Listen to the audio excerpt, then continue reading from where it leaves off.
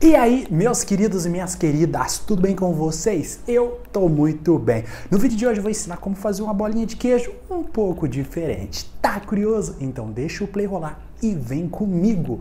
E lembrando que todos os ingredientes estão na descrição do vídeo. E se você não é inscrito, já aproveita, se inscreve, manda para um amigo, deixa o like e também não esquece de entrar no site, que tá aqui embaixo no primeiro link da descrição, porque lá tem muita coisa boa que vocês gostam. Chega de enrolação, vamos pra receita.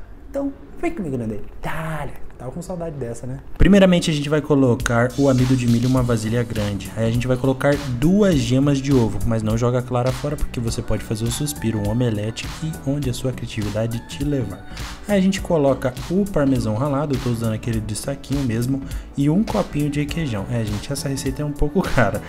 Agora a gente vai fazer o seguinte, colocar um pouquinho de sal, e pimenta do reino. Você pode temperar a sua massa? Pode, fica à vontade. Agora a gente vai mexer até virar essa farofa. Virou a farofa, utilize as suas mãos até ficar assim desgrudada da sua mão, uma massa homogênea, linda, maravilhosa e lisa. Feito isso, faz uma bolinha e a gente vai tampar e levar para a geladeira por uns 20 minutinhos. Agora é hora de cortar o queijo mussarela.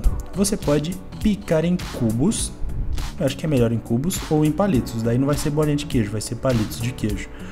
Eu resolvi fazer o seguinte com o meu queijo mussarela: temperar. Eu usei tomilho e orégano, mas fica à vontade, pode colocar qualquer tempero, pode colocar pimenta e por aí vai.